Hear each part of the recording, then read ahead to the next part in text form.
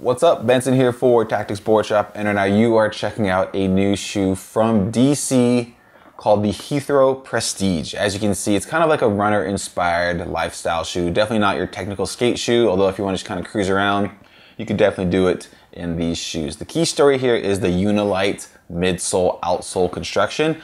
Unilite's kind of like just an EVA foam that DC has created super lightweight, but it's not the most grippy as an outsole construction. So they actually inserted rubber pods in key areas under the balls of the feet and then also on the heel to give you that grip, but also give you the lightweightness of Unilite. So that's pretty cool.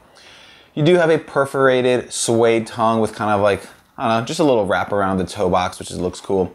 Um, as you go back up the side of the shoe, you do have kind of like this like durable nubuck construction and then one thing you'll notice is that it is a kind of like sock liner booty type of construction around the collar, so it allows your foot to slip in and fit very snug.